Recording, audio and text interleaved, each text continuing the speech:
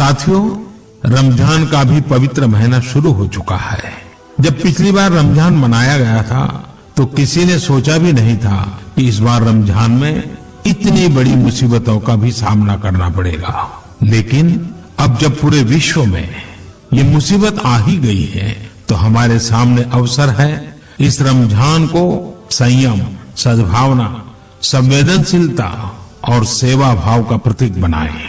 इस बार हम पहले से ज़्यादा इबादत करें, ताकि ईद आने से पहले दुनिया कोरोना से मुक्त हो जाए और हम पहले की तरह उमंग और उत्साह के साथ ईद मनाएँ। मुझे विश्वास है कि रमज़ान के इन दिनों में स्थानीय प्रशासन के दिशा निर्देशों का पालन करते हुए कोरोना के खिलाफ चल रही इस लड़ाई को हम और मज़बूत करेंगे।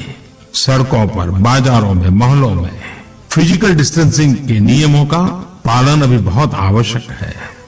मैं आज उन सभी कम्युनिटी लीडर्स के प्रति भी आभार प्रकट करता हूँ, जो दो गज दूरी और घर से बाहर नहीं निकलने को लेकर लोगों को जागरूक कर रहे हैं। वाकई कोरोना ने इस बार भारत समेत दुनिया भर में त्योहारों को मनाने का स्वरूप ही बदल दिया है, रंग रूप बदल दिए हैं।